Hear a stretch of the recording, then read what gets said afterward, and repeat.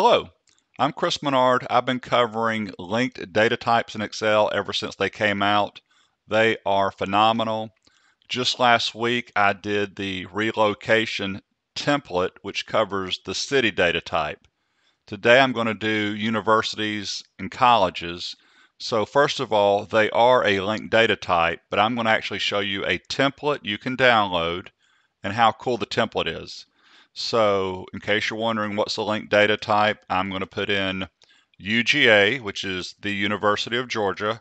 I'm going to just make uh, make a few up here. Rice University, Harvard, and I'm going to do one more UCLA. It doesn't matter what you type in, just select them. I do want to point out this is really cool. Watch what it does with UGA. So data, here are your linked data types. You need a Microsoft Excel 365 account for these to work. Stocks and geography were the first two that came out, and I have videos on those. But then they've added all these other ones recently, including zip code, which I'm a big fan of. I did cities last week. Today is universities. So when I click university, you obviously need an internet connection. Watch what happens. And it's called a linked data type because I've got all this data or these fields I can put in here.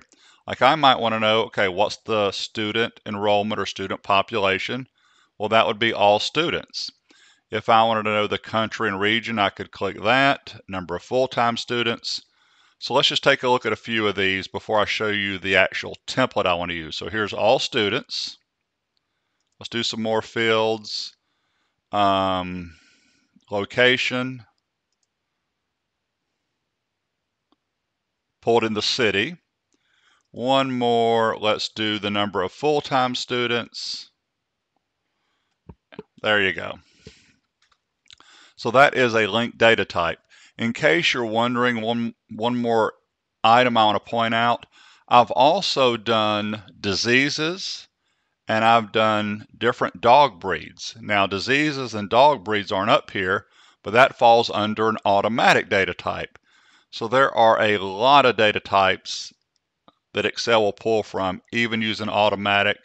I'll be doing more in the upcoming weeks, but let's go look at that template I want to show you today. So I'm going to close this file out. So here is Microsoft's announcement on insider.office.com. Last week I showed you the relocation helper where I put in cities. Today I'm going to show you the college decision helper template. So step one is to go download it. There it is in the bottom left corner. Click it once. You probably will have to enable a couple items when it loads. Enable editing, no big deal.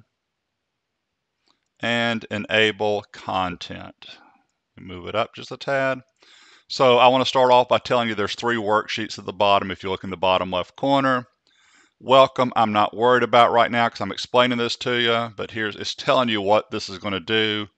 If I click on compare colleges, that will jump me to the worksheet compare colleges. And then we have a third worksheet that says track applications, which is a really cool feature too. But what I'm going to focus on is these compare colleges.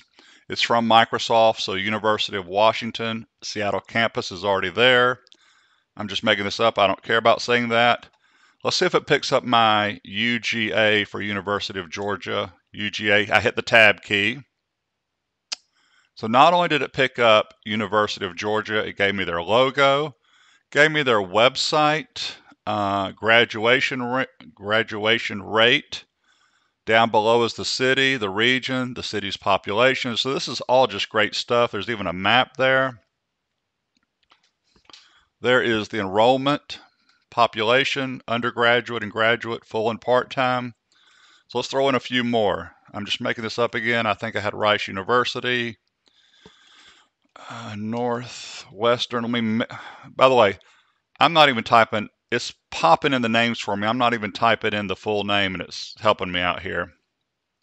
Northwestern, it didn't pick up. Let's see why. If you, if you get this icon with the question mark, it's probably wanting to know, okay, which one do you want? Um, I'm to select that one.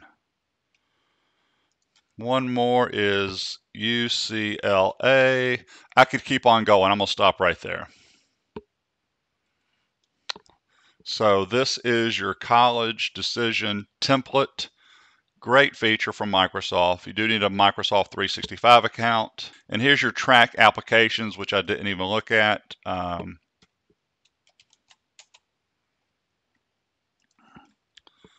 this is pretty cool, UCLA. Let's just put in uh, two more. That's enough. U UGA and UCLA. And then select from the drop down so I hope that helps. Feel free to subscribe to my YouTube channel. If you have any comments or questions, please put them in the comment section. Have a great week. Thank you.